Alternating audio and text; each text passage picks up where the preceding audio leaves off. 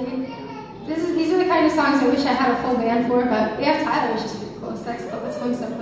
Um, this one's called Cigarette Daydreams, and it's by uh, Cage the Elephant, which is a great band you should listen to.